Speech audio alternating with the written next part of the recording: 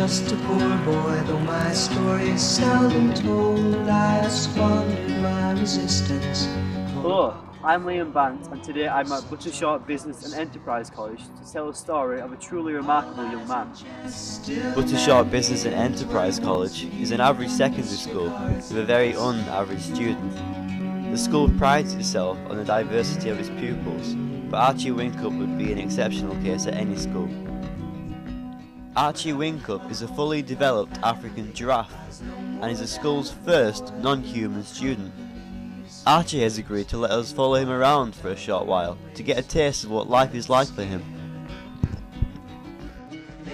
First of all, Archie, thank you for agreeing to do this with us. It's fine.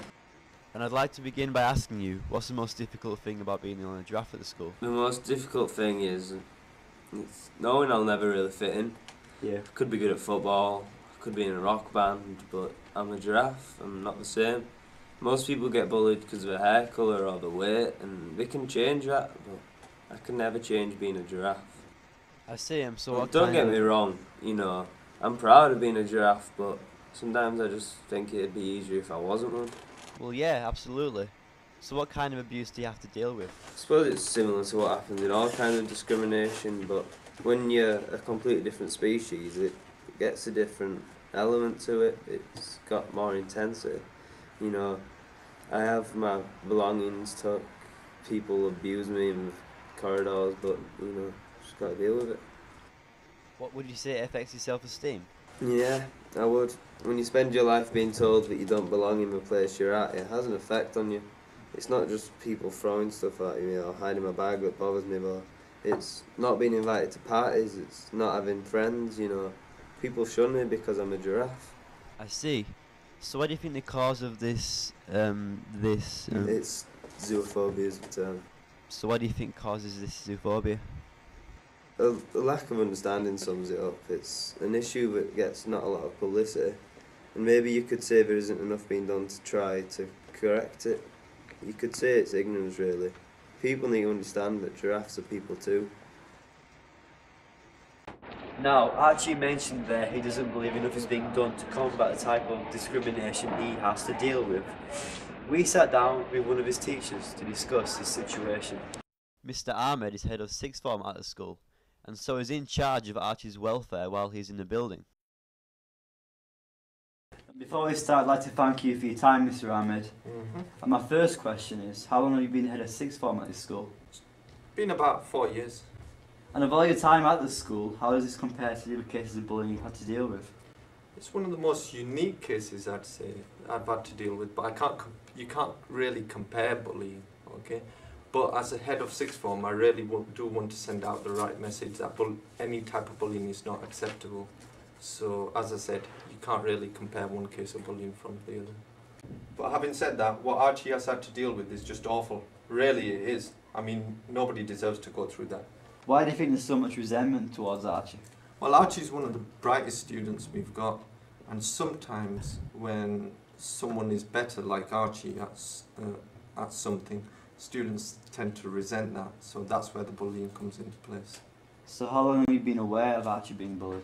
I'm definitely sure that it's uh, preceded him coming into sixth form. Okay, it could be could have been well before sixth form. The first time I noticed it was when I saw students throwing leaves at Archie, Uh, leaves. ac- acacia leaves. Why do other students throw leaves at you? They're acacia leaves, the, the giraffe's main food source. Normally they're only found in Africa, so God knows where they found them. So what are you doing personally to try and prevent the bullying? I'd like to think I'm doing absolutely everything I can to stop the bullying from happening. I do give them a warning, and if, if I see any type of bullying going on, if it carries on, I will give them a suspension where they're, uh, where they're suspended for two days. Do you think you're doing enough? I definitely do think I'm doing enough. The, stu- the students that are bullying Archie are scared. And it, I, I have seen it happening a lot less now. So. Do I think it's happening less often? No, not at all. I felt like I'd got all I could from Archie's teacher, so I decided to speak to the other authority figures in his life, his parents.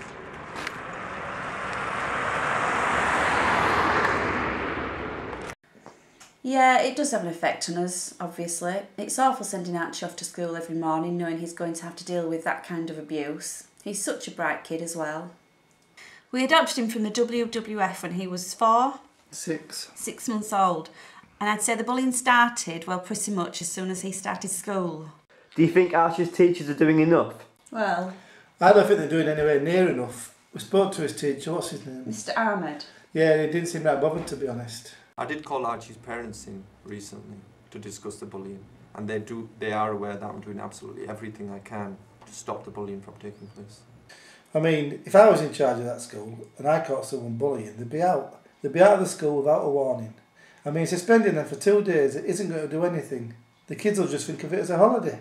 You say the maximum punishment is a two-day suspension. Do you think that's enough? Yes, definitely. There's a lot of shame to being excluded, especially for two days. Do you not think some of the kids might see it as cool to be kicked out of school? No. Cool? Definitely not. Um, now to conclude our time with Archie, we've arranged for him to meet two young men in a similar position to himself. Um, how are you feeling, Archie? Um, nervous, uh, very nervous. Um, will it be odd meeting um, people in a similar position to yourself? Yeah, it'll be the first time I've ever met someone like this, so should be good. Okay, well, um, let's go inside.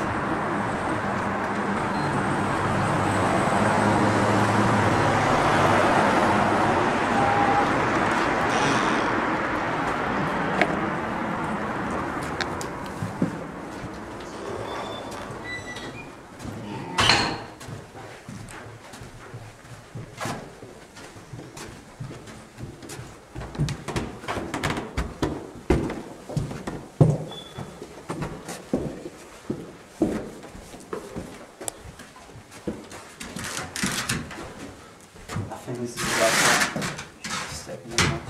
not- Um,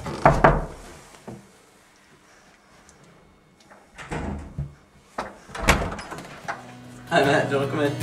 Just through that door. Zach Longstaff and Oliver Athorn are both currently studying at the University of Bradford and share an apartment nearby. Zach, 19, is studying history, and Oliver, 20, is studying economics. We could see they had a lot to talk about, so we left the room to give them some privacy. the camera on? Yeah. you sure? Yeah. Okay. No, actually, we were adopted by.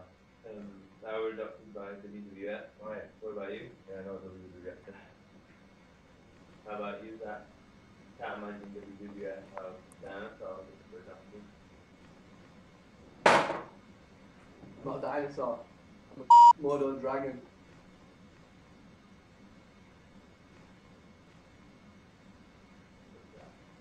Really How many, how many dinosaurs do you see walking up trees?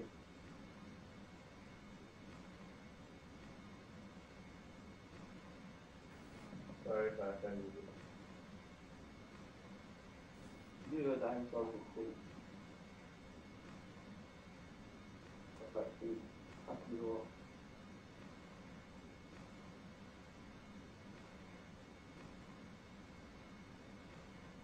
We took a moment to discuss, with Oliver and Zach, just how important a meeting like this can be for someone like Archie.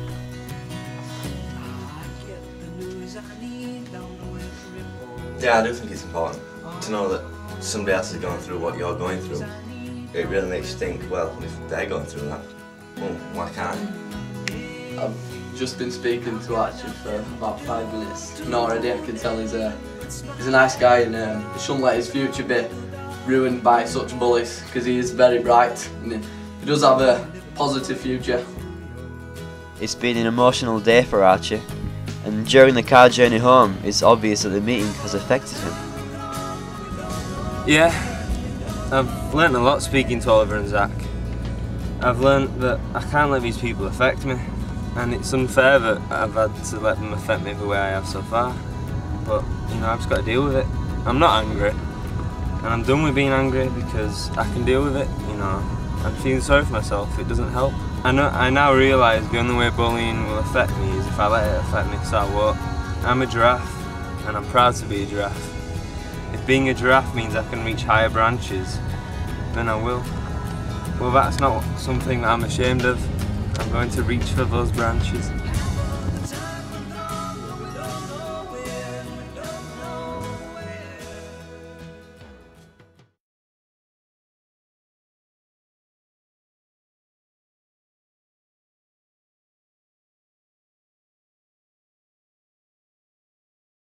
Someone told me it's all happening at the zoo. I do believe it. I do believe it's true. Mm. Mm. Whoa, whoa, whoa. Mm. It's a lifetime tumble journey from the